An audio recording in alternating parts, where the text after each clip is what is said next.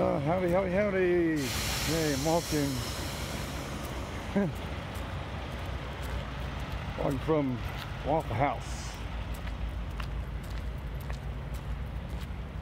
Got some good food, last me throughout the whole day. Oh my God, okay. I can tell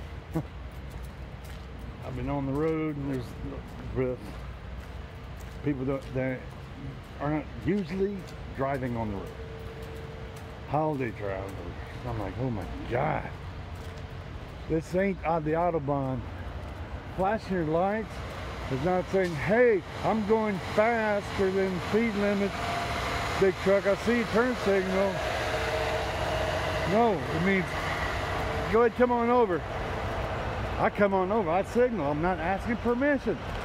I'm stating the fact. Hey, communicate, now I'm coming over. I think about three or four moves ahead. I see his face. You there? Oh yeah, I see you front end of the bumper. Picking up, speeding up. I can tell measurements of distance and speed over time. I can tell. I can tell you, you can slow down too. You know. But this ain't the Autobahn.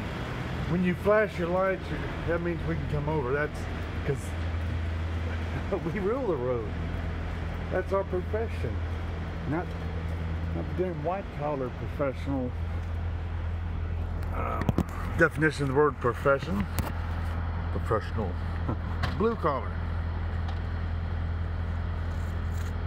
See truck coming over? Get out of it. Slow down. Be professional. don't suffer from hubris. Google it if you don't know what hubris means. Heard that word since the early 80s. I'm like, daggum. I'm just a truck driver.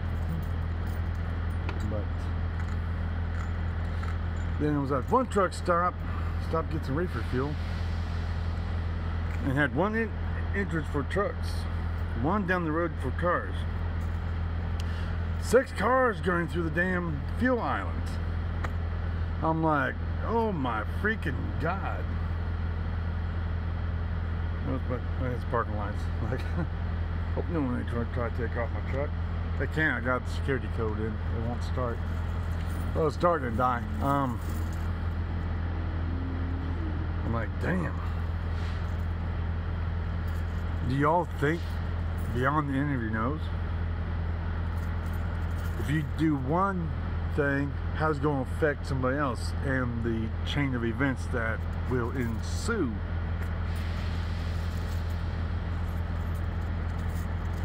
I do because survival have to. And to the point I can forward tell what you're going to do before you even know it. But um, Christmas adventure. I'm in Alabama. Get this load dropped off in Memphis.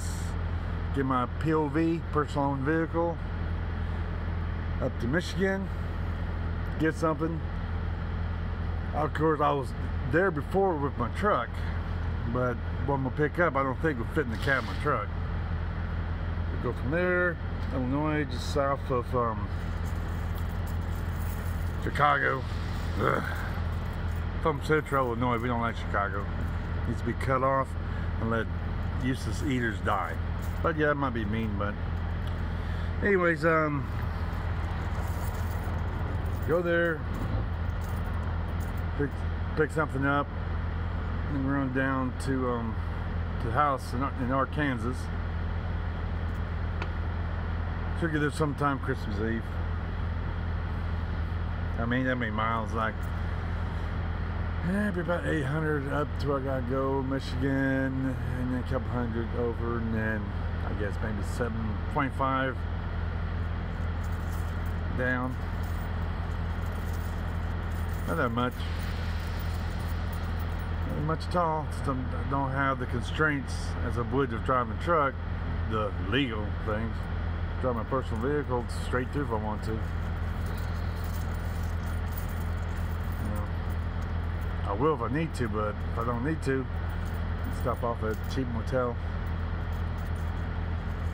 But um, yeah, it's going on so far.